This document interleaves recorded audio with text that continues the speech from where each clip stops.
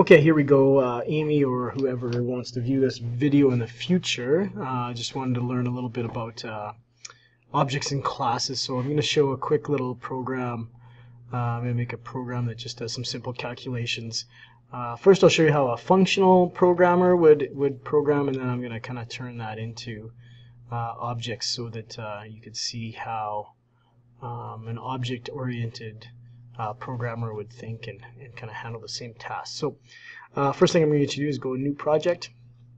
Uh, we're going to select C Sharp. It's my language of choice for Windows.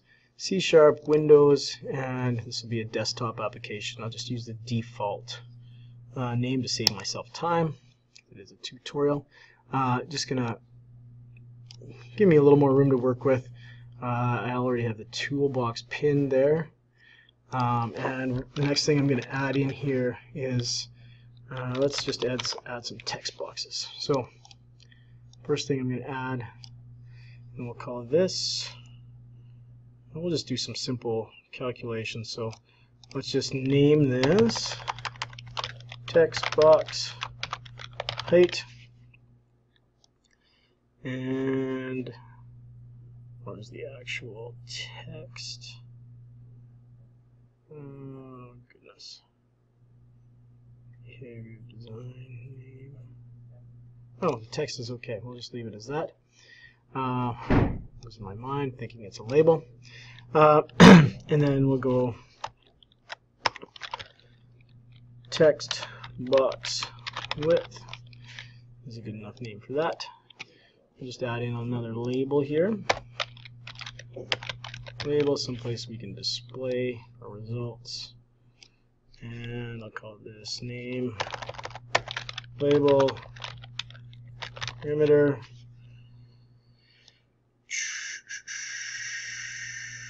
We should have a text value here. I'm just going to put underscore to give it a space there so we have something we can see.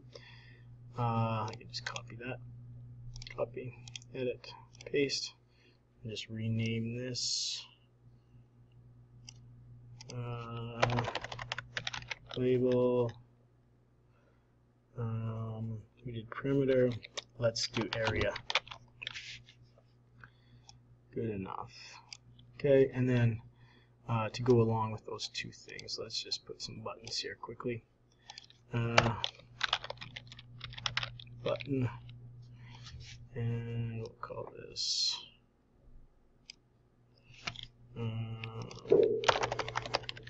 button cal per or calculate perimeter. I'll go perimeter. Don't mind if my spelling's off. it's okay. Let's paste. I'm just going to modify the name of this one to be area and the same thing here. Just to give me a UI to work with. Button cal here good enough.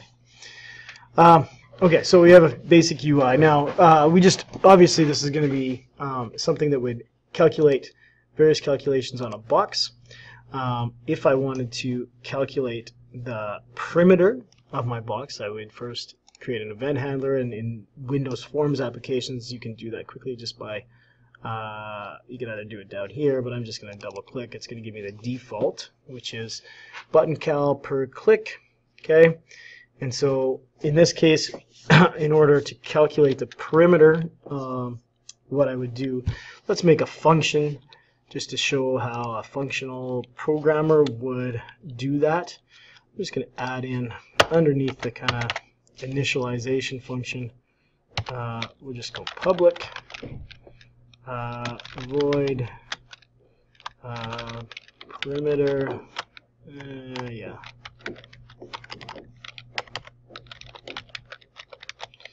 And I'm going to take two values in. I'm going to take an integer value of height and an integer value of width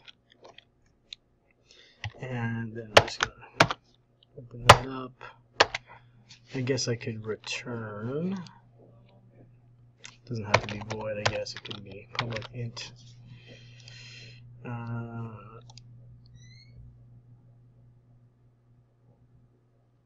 it's to error until I go return. Um,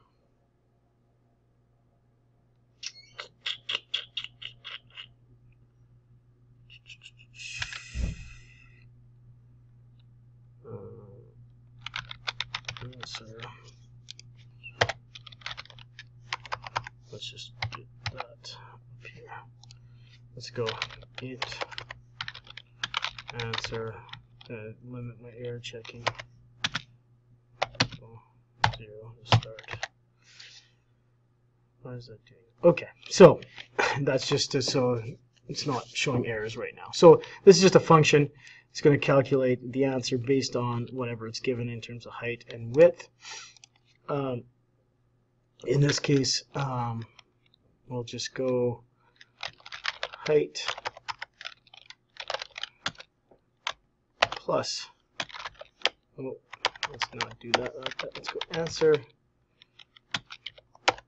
equals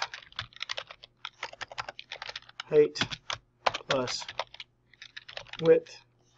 And obviously we need perimeter so we're going to have to multiply that whatever that is times 2 we'll just do that.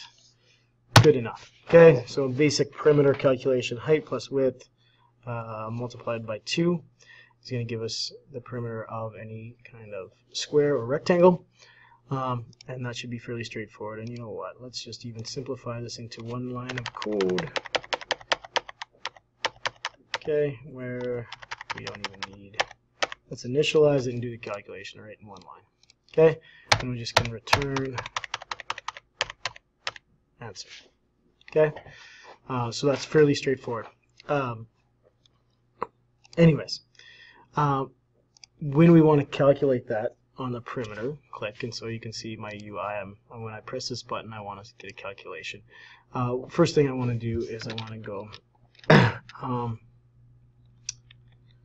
uh, what did we say that first text box was called? Text box height. Getting back in here. So we want to go, we'll say uh, integer.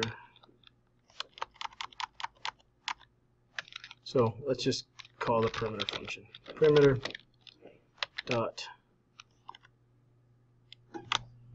let's take in uh, the value of that first text box. So let's go text box height dot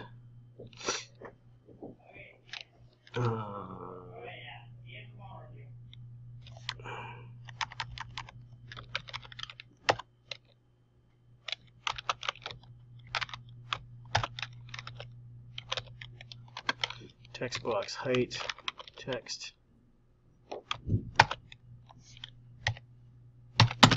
This is probably not the way I should be doing this, but uh, and then int dot parse.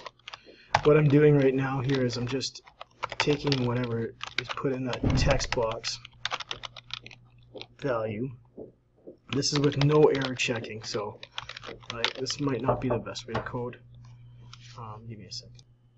Okay, sorry. Uh, what uh, this turns into, uh, what I'm really doing, I'm just taking two integer value arguments here. Probably this is a really terrible way to do this in the fact that I probably should have separate integers that are holding these values rather than directly doing this. Uh, basically, I'm taking two arguments that I set up in the up here. It needs to be an inter integer value. So I'm changing the text box text value into an integer uh, with that parse there and then it's taking those arguments in there. Uh, really not a good way to do things because if I enter any hit the calculate button with anything but an integer in that text box, um, it's going to error on me. So I'm just not going to do that. But I, error checking is a topic for another day and, and try and catch statements and how you can do different things like that. Anyway, so basically I'm, I'm taking my function, I've declared a function up here which you should already know about uh, and I'm basically putting that down here. Okay, uh, I'm calling that perimeter uh, function, and since per perimeter actually returns an integer value, uh, I can actually uh, display that in a label right away. Um, so not only I, you know, am I running that function, but I actually am returning a value. So let's go take a look at what label I had for perimeter. I had, uh, like it when it's set up like that. Uh, name label perimeter. Okay, so I'm, I can actually display that right now. Uh, label uh, perimeter dot text equals and this I can put actually to string and it's a lot of converting I don't know if I want to do all that but that's okay so this is a way to put a whole bunch of things in one line of code uh, that is very difficult to read basically what I'm doing uh, is when I hit the calculate button it's gonna change the label text okay to uh, uh, it's going to calculate perimeter here, okay, and put this to string. Let me change this in a minute so it's easier to read, uh, and change then that calculation to a string. Uh, and let's just check and see if this works really quickly. Uh, here we go. Let's put in a value here. Let's run our program. Okay, and let's put in 3 and 5 and if I go perimeter, I get a value of 18. So that's calculating correctly. Like I said, not really great coding style, um, but the logic is, is sound as long as I don't put anything that's outside an integer value there, that works. Okay, uh, so let's do the same kind of thing for our area button, and then I'm going to show you um, how someone that's not a functional programmer, this is a function, uh, would do that. So let's do another uh, function here, and let's, again, we'll call it public integer area and again we're going to take an int a height value as an argument and an integer value of width as an argument. And let's go here. And then we can go int answer. Uh, we can use the same value here because this is within that uh, equals um, and in this case we're going to go uh, height times width colon and then from here um, we can go return uh, answer and we're in business okay and I should that should disappear there now okay so this is just a simple function to calculate area and so that's going to work with our square again uh, and work fine. And so now with our, we're just going to create another event handler. Easiest way again to do that is just double click the button. You could go over here and, and choose click uh, to, just click or is it mouse click? Uh, let's just do default double click there. Anyways, so I have a new event handler here. Uh, within that, let's just code this a little bit better. Um, let's go uh, integer box height equals uh, we'll go int dot parse this is just in C sharp a way we get uh, an integer value from text. Text box height dot text the value of that text box. Um, and then that's going to be it'll go int again. It doesn't have any error checking here so width integer box width equals int dot parse. That int dot parse like I said is just taking that text value of the text and turning it into um, uh, um, integer. Okay and so again without any error checking it's going to do that. And then we just wanted to have um, some kind of value here.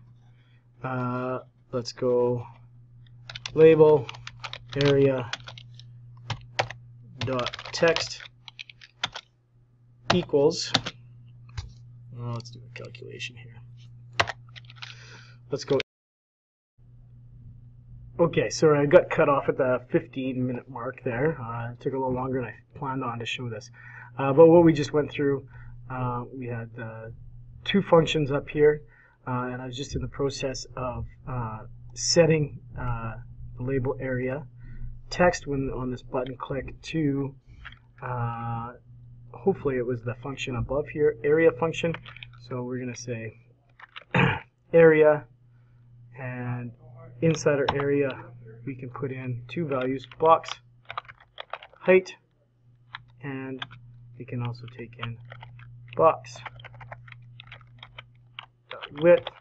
Now because we're setting this to a text though, obviously I just need to, this is the function itself, okay, being called, um, but we need to turn that into toString so that because our text value is a string and so that's going to make that so that works.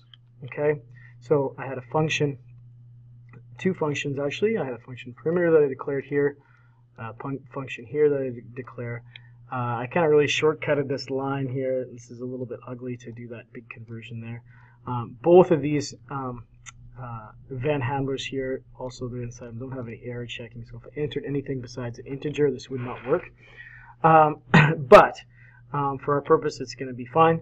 Uh, I have just initiated an integer value here, an integer value here that's going to take what's in that first text box, take what's in the second text box, and then we're going to take those values and we're going to do use them uh, as arguments in that function area, and that's going to do a calculation. Let's just make sure this is working, uh, and then I'm going to show you how uh, an object-oriented programmer would, would do this instead. Okay, so I'll put some values in here. Let's just go 6 and 7. Perimeter 26, that makes sense. Area 42, that makes sense as well. Okay, so this is functional programming. Make some functions, apply them. Okay, subroutines, whatever you want to call them, methods. Anyways, um, an object-oriented programmer would probably have something, or a class, that would serve as a template and it would have specific jobs. In this case, uh, I want a class that its job is just box calculator. It's going to calculate anything box related. Okay, and so what I'm actually going to do is I'm going to go up to here and I'm just going to add a new class to my solution. So, wrong one, click on here, right click, and I just want to go add new. It's new, but I want it to be specific. It's a class, okay? And I'm going to call this actually box calculator. Okay, and then I'm just going to hit add. Now, what I'm going to do inside my box calculator, this you created a new class, and so I can go back and forth between these two. What I'm actually going to do is I'm actually going to cut my two functions out because those are tasks that should be tasks of a box calculator. I'm going to cut those out. I'm going to put those inside a box calculator. And I'm just going to go, uh, let's just go paste. Okay, so I have now, I have a class that's called box calculator that has two functions one that calculates perimeter, one that calculates area. Now I'm going to have errors back in my just kind of main class here now. It doesn't know where that perimeter is coming from. It doesn't know where that area is coming from. So, uh, because I removed those functions. So, if I want to use these functions that are stored over inside Box Calculator, now Box Calculator is in the namespace Windows Forms application, but currently we don't have a box class. Think of the Box Calculator as a template for an object. Okay, so maybe it's it could be a car, could be whatever. This is the template, but now I need to initiate an actual object of the class box calculator. So the way I would do that, and I'll just go inside my main form, I'm just going to make one uh, new box. So I'm just going to go box calculator. Notice that it recognized that because it's in the namespace. And I'm going to call it uh, let's call it new new calculator sure new calculator and then I'm going to go equals new box calculator and. So what this has done here is it's made a new object based on the template of this box calculator class. So it actually has all the functions that are present there okay, in this new object. It has the, a perimeter function. It has an area function. So when I go back over here now, this still doesn't know that, okay? What I actually would do just to change this code, okay, is all I would need to do is put in here new calculator dot perimeter and it's then it's just taking those values. So it may seem like a little bit of code, but if you think about how what this can do is it can really clean up your code by moving all things related to calculating box, okay, to its separate place, okay, over in this class. And so all I've done is now I've initiated this this new object, okay, based on box calculator class. And then now it has that perimeter function, and I've called that perimeter function there, and it can calculate that. And then I would have to do the same thing here, okay, if I was going to use that new calculator. Okay, and now it has a, it has a, this is new calculator. Inside new calculator, it has that area function. Okay, I'm taking in a local value from here and turning that into a string, and that works just fine. Okay, so the way um, difference between a functional programmer and an object-oriented programmer is you think to think of things as as having jobs and being objects. Okay, like if it was a cow object, well, a cow would do several things. A cow might run, a cow might eat, a cow might poop. Whatever cows do, okay, would be included inside that cow class. In this case, we have a box calculator class that handles any kind of calculations based on a box. Okay, and so I have that calculator that's going to do that. Um, you can see how we initialize that and then just call it. Okay, and in this case I have to convert it always back to a string for me to have an output. Okay, so hopefully that gives you an idea of what the heck a class is. Okay, like this box calculator class, how to access the functions from a class within kind of your main kind of program. So let's just make sure that this is working fine. And we can see uh, whatever numbers I can put in there. Uh, here we go. Calculate, calculate. Okay. Uh, hopefully this gives you at least somewhat of an understanding of the difference between functional programming and object-oriented programming, learning what a class is and how objects are based on that class. Okay, that's it for this tutorial.